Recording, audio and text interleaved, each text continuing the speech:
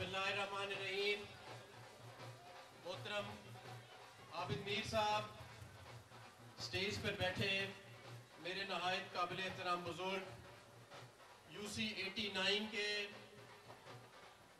नहायत काबिल एहतराम मेरे दोस्तों, नौजवान साथियों, सबसे पहले आपका शुक्रिया इतने पुरजोश इस्तकबाल के लिए। आपका शुक्रिया, आपने मुझे दोबारा मौका दिया अपने बीच शामिल होने का। और आपका शुक्रिया कि आपने मुझे दोबारा मौका दिया आपकी खिदमत करने का। सबसे पहले मैं सिर्फ़ इससे पहले कि मैं दूसरे मामलात पे आऊँ आज मैं बात करना चाहता हूँ कुछ चीज़ों पे कुछ कौमी मसाइल पे क्योंकि मीडिया भी मौजूद है और वो लाइव लेके जा रहा है। मैं सिर्फ़ आपको ये बताना चाहता हूँ कि लाहौर की यूसी 89 जिसमें आज हम मौजूद हैं हल्का एन ए एक सौ छब्बीस। ढाई साल में, तीन साल में हमने सड़कें बना के, साफ़ पानी का बंदोबस्त करके, बिजली का, गैस के मामला को हल करके, ढाई साल में, तीन साल में हमने इसको एक मॉडल यूसी बनाया अलहमदिल्ला और अगले दो साल में, अगले दो साल में मजीद मेहनत करके इन ताला मीर साहब, आपकी सरबराही में, तमाम दोस्तों की सरबराही में, इस यूनियन काउंसिल को इन ताला मॉडल टाउन और डिफेंस के बराबर लेके आए।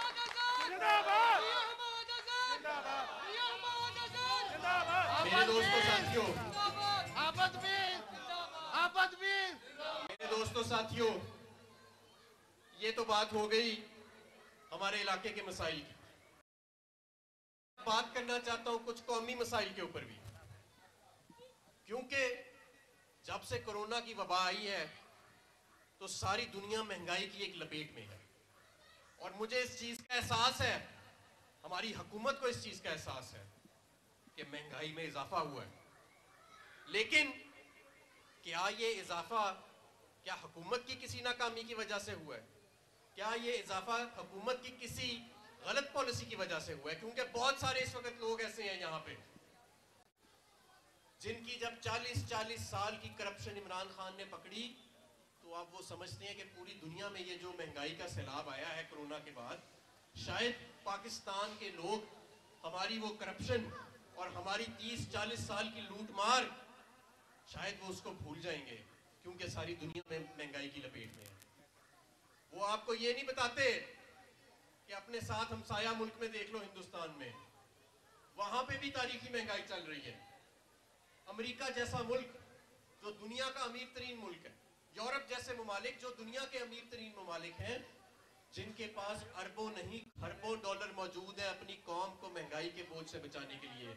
आज वहाँ पे भी 25 25 30 30 साल की बुलंद तरीन महँगाई की शरह चल रही ये मामला सिर्फ़ पाकिस्तान तक नहीं है।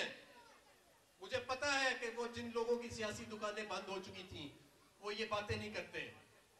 वो आपको ये नहीं बताते कि ये मामला सिर्फ़ पाकिस्तान तक नहीं है। ये मामला पूरी दुनिया में है। किसी दुनिया के मुल्क में चले जाएँ। मैं आपको चैलेंज देता हूँ दो सौ ममालिक दुनिया में।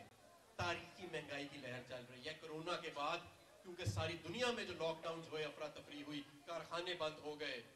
वहाँ पे काने बंद हो गई, कोयले की काने बंद हो गई, लोहे की काने बंद हो गई, बिजली घर बंद हो गए।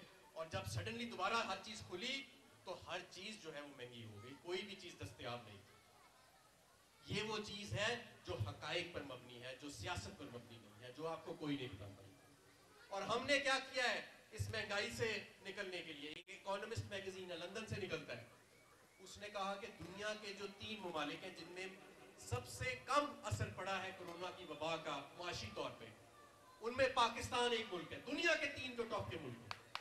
हालाँकि हमारे पास, हालाँकि हमारे पास वसाइल ज़्यादा नहीं थे, लेकिन हमने क्या किया?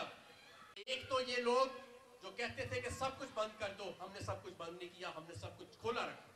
क्योंकि हमारे लोग गरीब हैं। वो कोरोना से अगर बच जाएँगे तो कहीं भूख से उनकी उनकी मौत ना हो जाए, कहीं भूख से उनके चूल्हे बंद ना हो जाए। तो एक साहब बाहर से आए, नुस्खा लेके लंदन से, पहले वज़ीर आला रह चुके हैं। उन्होंने कहा, सब कुछ बंद कर दो इंपीरियल कॉलेज की स्टडी आई है। मैं आपको दावे से कहता हूँ, अगर आज हमने उनकी बात मानी होती तो आज जितनी महँगाई है, इससे तीन गुना ज़्यादा महँगाई दूसरा हमने क्या किया?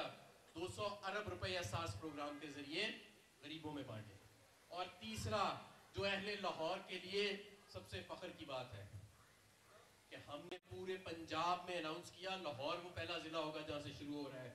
हर घराने को, सिर्फ़ मुस्तहिक हर घराने को सेहत इंसाफ कार्ड का इजरा होने जा रहा है, जिससे आप अपना मुफ़्त इलाज करा सकेंगे, सालाना दस लाख रुपए का। आज तक सारी दुनिया में भी जहाँ पे ये होता है।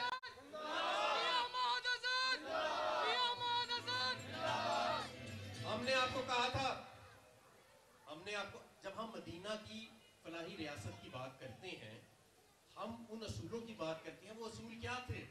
वो असूल थे गरीब का तहफ़ करो। आज महँगाई की लहर आई है, हमने पनाह गाहों का एक जाल बिछाया। महँगाई की लहर आई है, हमने 200 अरब रुपए सालाना डेढ़ करोड़ घरानों में तकसीम किए। महँगाई की लहर आई है। हमने हर घर को इंसाफ सेहत कार्ड देने का फैसला किया, जिससे 10 लाख रुपए तक का मुफ़्त इलाज सरकारी और निजी अस्पतालों से हो सकेगा हर साल। और इसके लिए आपको एक पैसा नहीं देना पड़ेगा। और मैं आपको ये भी कहता हूँ, एक मीशत का तालब इल्म होने की हैसियत से कि जब भी दुनिया में तेल की, लोहे की, कोयले की, हर चीज़ की कीमतें बढ़ी हैं तो उसके बाद उसी तेज़ी से वो कम भी हुई हैं। हमें उम्मीद है कि इंशाल्लाह ताला 2022 जिसका आज पहला दिन है, इंशाल्लाह ताला इस साल में आलमी मंडी का ज़ोर टूटेगा। ये जैसे ही कीमतें आलमी मंडी में टूटेगी, मुझे पूरा यकीन है कि चंद हफ्तों के अंदर अंदर उसके बाद पाकिस्तान में भी ये रोज़मर्रा की अशिया की कीमतें टूटना शुरू हो जाएँगी।